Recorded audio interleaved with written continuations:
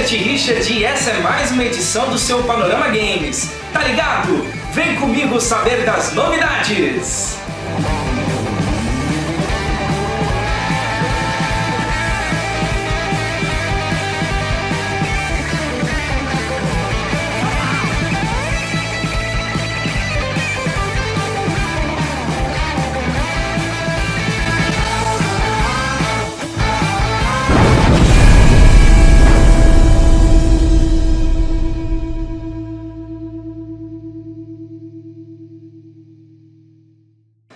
Na semana passada anunciamos o lançamento do Spider-Man na E3.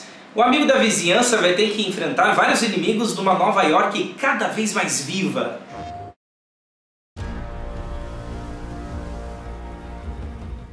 Spider-Man, novo jogo do amigão da vizinhança, foi um dos destaques da conferência da Sony na E3.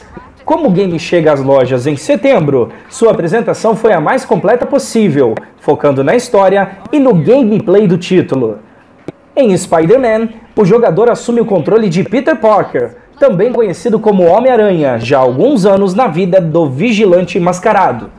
No ápice de sua forma física, o herói deve enfrentar inimigos como Homem Negativo, Rei do Crime, Electro, Escorpião e Rino, em uma Nova York cada vez mais viva e com a presença de personagens marcantes dos quadrinhos, como Norman Osborn, Mary Jane Watson e até mesmo um jovem Miles Morales. Pelo vídeo, é possível dizer que o Sexteto Sinistro terá um papel bem importante na campanha. Spider-Man será lançado exclusivamente para o PlayStation 4 no dia 7 de setembro e já está em pré-venda através da PlayStation Store.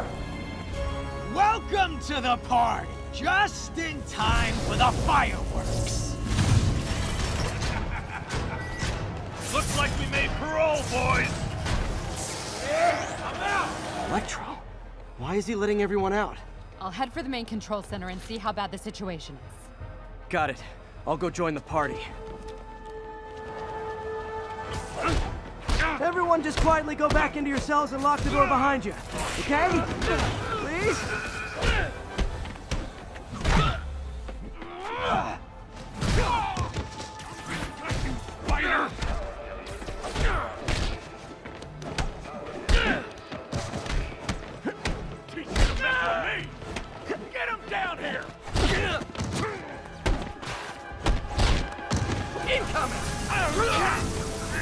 Like fish in a barrel. That doesn't sound good.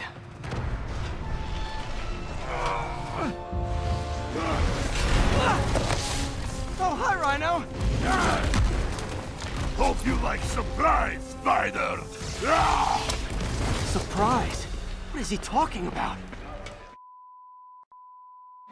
Resident Evil 2 Remake tem edição de pré-venda com roupas e armas clássicas. Você já viu o trailer do Resident Evil 2 Remake? Depois da conferência da Sony na E3 2018, detalhes das edições digitais de pré-venda foram revelados e deixam a experiência ainda mais interessante. Quem fizer a pré-venda tradicional vai ganhar os vários extras, como armas e temas especiais.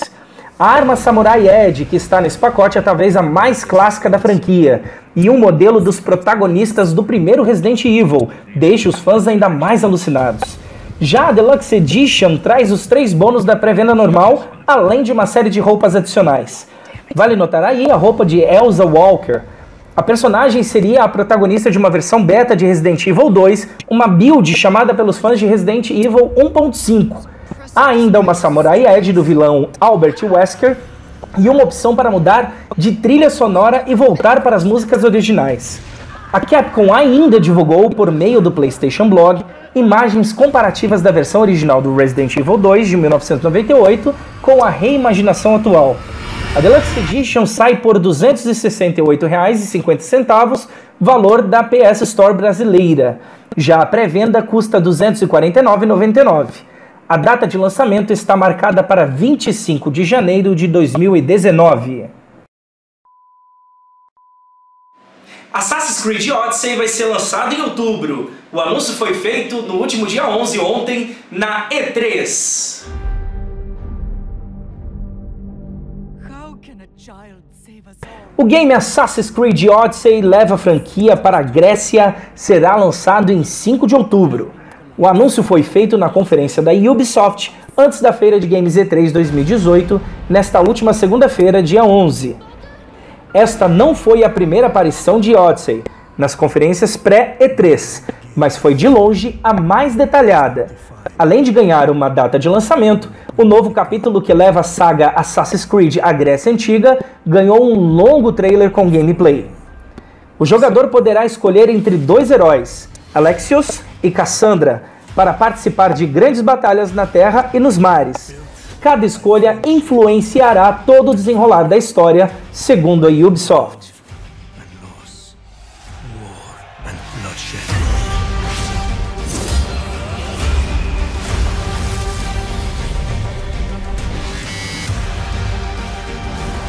You were sent by the gods to protect this world.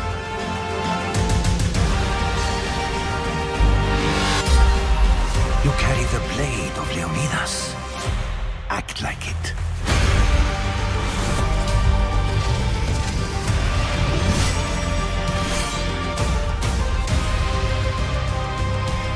As you write your odyssey across the mountains and the seas, remember, the fate of Greece journeys with you.